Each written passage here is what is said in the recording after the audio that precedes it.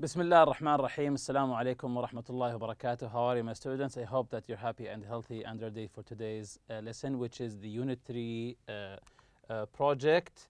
But before we do that, before we begin our lesson, open your workbook, page 102 or 102. Exercise K. Read the texts and then answer the questions. So we have three texts. We'll be reading them and then we'll be answering some questions. So let's listen to them, then we'll be answering the question. Let's listen. Minaret of Jam, Afghanistan. The minaret of Jam stands in a remote valley, surrounded by barren mountains. It was built in the 12th century and it is the only well-preserved building of the period. It is 65 meters tall and was built with baked bricks. The circular minaret, which rests on an octagonal base, had two wooden balconies and a lantern at the top. The minaret is famous for its intricate decoration of calligraphy etched in stucco and glazed turquoise ceramics. It was nominated Afghanistan's first World Heritage Site in 2002. So this is the uh, first article in Afghanistan talking about the minaret of uh, Jam. The second one in Salwa Palace, KSA. Let's listen to it. Salwa Palace, KSA. Salwa Palace is the largest palace in the historical At-Turaif district of Ad-Diriyah. It was the first palace built by Imam Muhammad bin Saud in 1750. His successors later added to the complex, which includes seven main units, a mosque, an audience hall, a treasury, and a well, which cover some 10,000 square meters. Salwa Palace is a unique example of Najdi architecture and illustrates the ingenious use of adobe, not only as a material suited for the extreme desert climate, but as a means to create beautiful geometric designs. At-Taif was inscribed on the World Heritage List in 2010. It has been restored to a large extent, and it has the potential to become one of the biggest living heritage museums in the world. And the third article here is talking about the well known, of course, Burj Khalifa in the United Arab Emirates. Let's listen here. Burj Khalifa, UAE.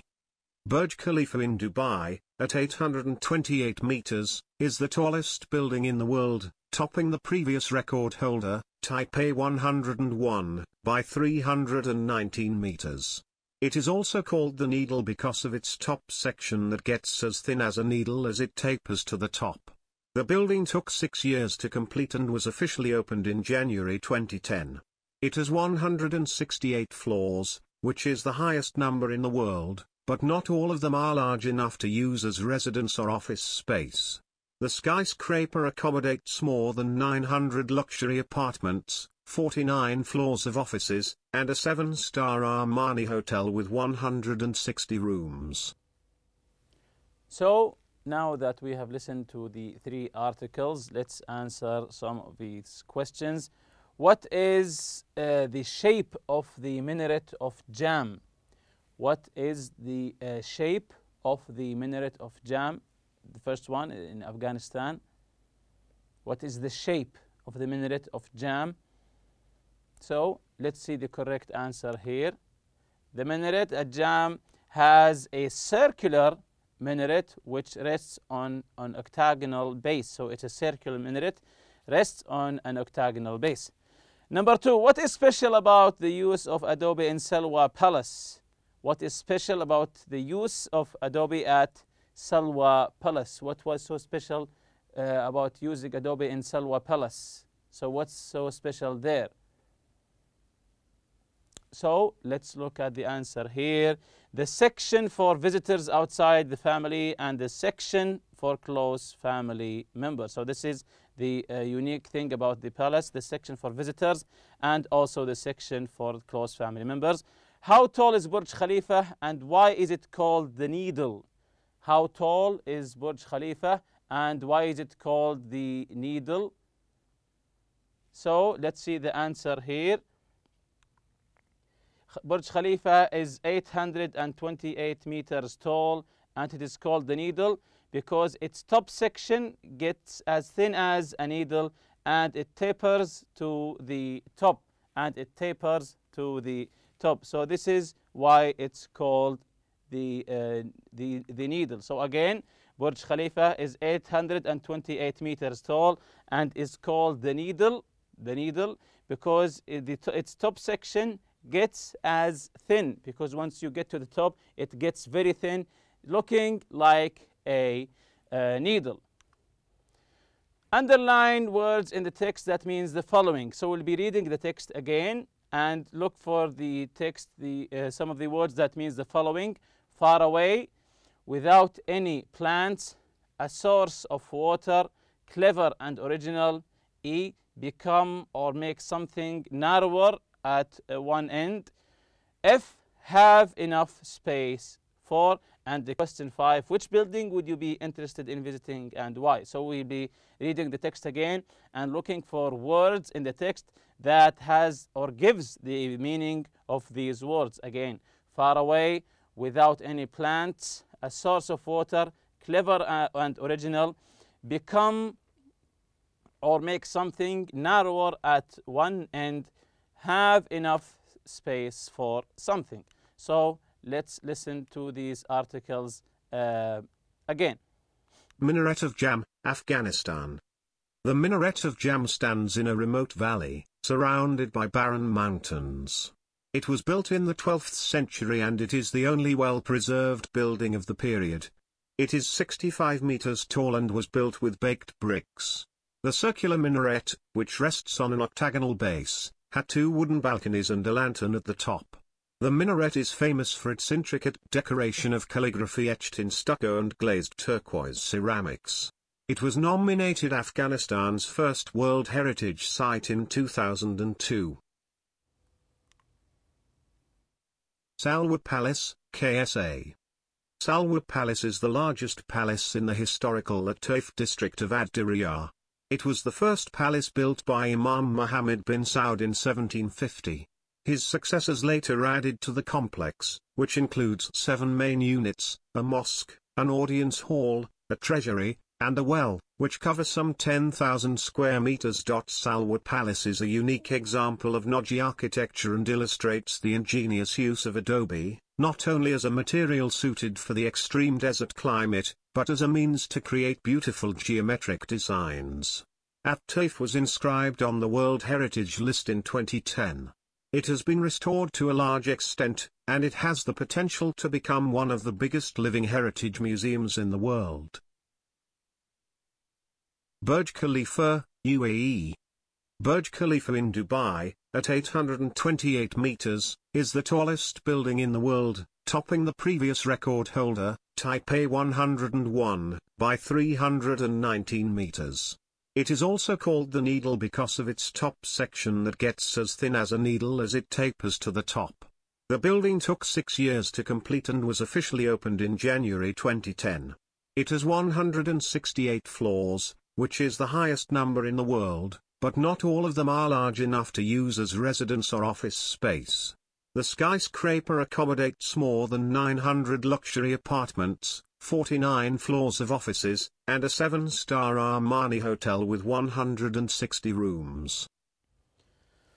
So now that we have listened to all three articles again, let's uh, answer the question. Underline words in the text that give the following meaning. So far away.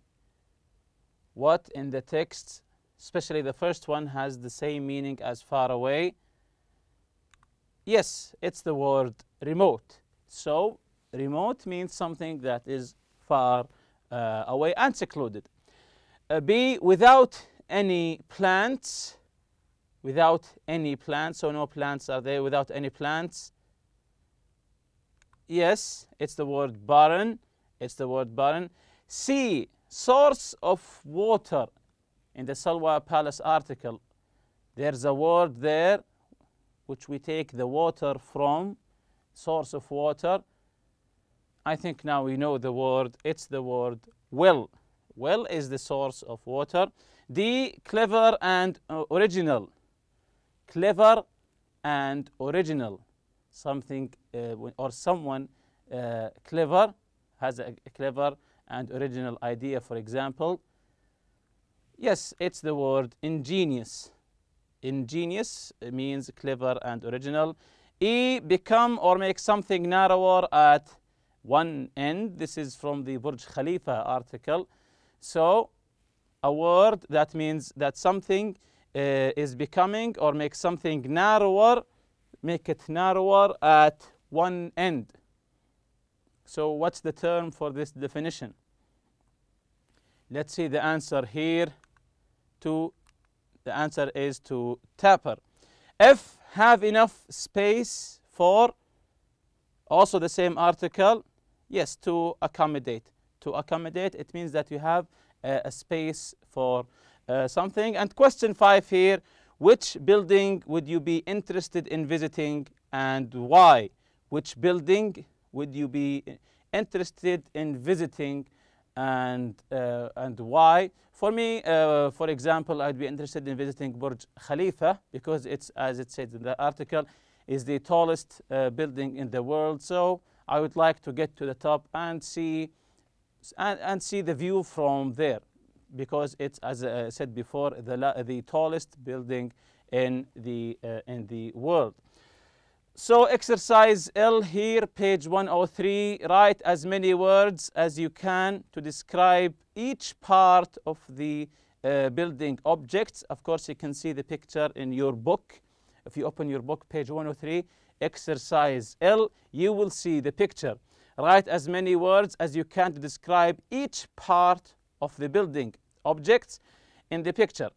Then write sentences to describe the building using at least three adjectives in the correct order. So open your book, page 103, exercise L, and look at the picture and try to uh, list some objects and describing words for these objects, adjectives.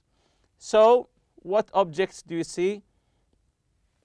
For example, windows, so object, you can see windows, of course. You can say they are arched, uh, small, square, framed, and narrow. So you can describe them using more than one word.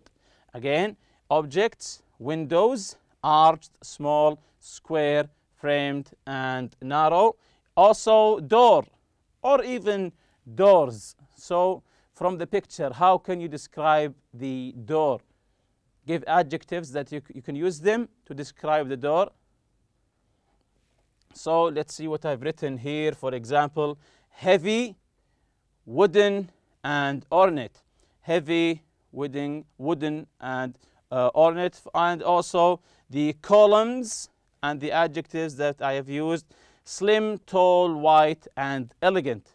The columns, the columns for the building are slim. They're not thick they're slim, uh, tall, they're very tall, white and elegant, they're beautiful looking. So you can, uh, you can use other objects in the picture, of course, but I chose the windows, door, and the columns. So we'll be writing sentences to describe the building using three adjectives in the correct order. So number one, for example, number one, so let's see here. The palace walls are dotted with small white framed square windows. The palace walls are dotted with small white framed square windows.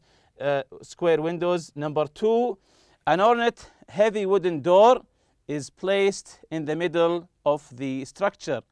An ornate heavy wooden door, so I used three adjectives here, is placed in the middle of the structure. Also here, number three, elegant slim white columns hold a series of arches along the facade. Elegant, slim, white columns. Notice the order here. Elegant, slim. This is an opinion. Elegant, slim. This is a shape, white color. So pay attention to the order of the adjectives. Columns hold a series of arches along the uh, facade. So this is exercise L. Jumping to exercise M for the writing, write about a famous house in your country. Before you write, make notes in the uh, chart. So try to remember in your hometown, maybe a famous house there, maybe your grandfather's, maybe your father's house, and make notes in the uh, chart. For example, This chart, I filled it with my own notes. When was it built? I think it's more than 60 years ago, more than 60 years ago. Who lives there? My grandparents. What makes it famous? The whole family celebrates their occasions there, even the Eid. The whole, any, any uh, celebration for the family, any occasion, they, move, they go to my grandfather's house and they celebrate there, even for the uh, Eid. What does it look like on the outside? Big and old. It's a big and old house. What does it look like on the inside? It's wide, it's spacious, and also comfy. Are there any famous rooms? Yeah, of course, the most famous room there is the main hall. So you can fill th this chart using your own, uh, using your own writing, your own uh, words. Try to remember maybe your father's house, maybe your whole family has a house in there in your uh, hometown where they all chipped in to celebrate their occasions and so on. So you have to fill this chart by uh, yourself. So now use your notes to help you write your essay. So once you finish writing of, uh, the, this chart, try to write an essay about what you have uh, written. So this is the project here, the objectives to describe different houses. We'll be seeing different houses. Research, a different research different types of houses in the world, Arab countries, Africa, Europe, China, etc. Find and list their features. Then note down their advantages and disadvantages in relation to the country area they are built. Three, make notes in the chart and use them to make a PowerPoint or poster presentation for your class. Uh, for your class. Select and use pictures. Invite your classmates to comment and or ask questions after the presentation. So we'll be talking about different types of houses from different parts of the uh, of the world. As you can see here, this is a the first picture here. What can you see? Yes, this is a tent, a Bedouin tent, and this one, this house you can see it in uh, Africa. Of course, it's an African hut, and this these are all. If you remember, what do we what do we call them? The small houses built uh, built from ice. That's correct. We call them igloos. So type of home, construction materials, size, shape, methods, uh, ease of instruction, is it easy? Cost, number of inhabitants, rooms, and so on. So we have three different types of houses, African hut, Bedouin tent, Eskimo, igloo. So construction materials, let's begin with the African hut. Mud, wood, and grass. It's not built from uh, bricks, of course, or cement. So as you can see in the picture, it's made from mud, wood, and grass. Uh, size, it's round size, maybe cylinder shape. Uh, ease of instruction, it's easy to build. The cost, of course, it's cheap. It's not expensive because of the materials are you can find in nature. A number of inhabitants, two or maybe three. Of course, this is according to the size of the hut itself, but it's usually not more than three or maybe even two rooms. So the whole hut is just one room actually. So the whole hut is actually one room. And the Bedouin tent, the materials, it's made basically from camel hair, of course, as we all know. Size and shape, it's a rectangular uh, shape, or some of them are square shaped, but most of them are rectangular uh, shapes. Uh, ease of instruction, of course, it's easy to build. Cost, is it cheap or expensive? Of course, we know it's a cheap number of inhabitants according to the size, maybe as just as the African hut, according to the size of the tent, uh, it can accommodate one, two, three, four, or even a whole family. Rooms, there are no rooms, just as the hut. The whole uh, tent is just one uh, room. Maybe sometimes they put dividers like uh, curtains or something like that. The Eskimo igloo, the materials, of course, we know it's built from ice. It's shaped like a dome. It's dome shaped like half a ball. This is a dome, dome shaped. The ease of instruction. It's hard to build. It's not as easy to build as a Bedouin tent or an African hut. It's also cheap. Uh, the inhabitants, maybe one or two. It doesn't fit a whole family, of course. Rooms, there are no rooms. The whole thing is just one uh, big rooms. Cooking facilities, continuing here. Uh, the African hut, there are no cooking facilities. You cook outside using, of course, uh, wood. Uh, sleeping arrangements, you sleep on straw beds. Uh, heating, use uh, wood fire, of course. Maybe the lighting also. You can use la lanterns. Special features, there, is no, there are no special features actually for the, for the African hut. the Bedouin tent, the cooking facilities, you cook outside also using the wood.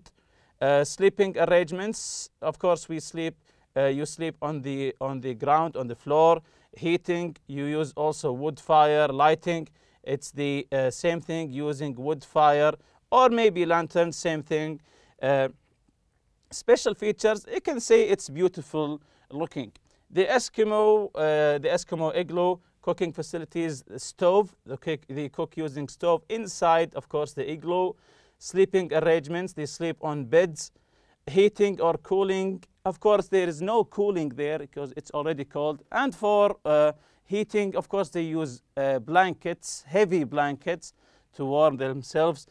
Uh, lighting, they use lanterns, or maybe some of them have elect electricity inside. Uh, special features also, it's beautiful uh, looking. About the advantages or disadvantages of these, of course, you can fill these by yourself. And also, all of this chart, you can fill it uh, using your own words, giving your own opinion. And also you can add a fourth house, a fourth accommodation from a different type of different place of the world and you can fill it by uh, yourself. And with that we reach the end of this lesson. See you next lesson inshallah. Subhanakallah wa bihamdik ashhadu an la ilaha illa anta astaghfiruka wa atubu ilaik assalamu alaikum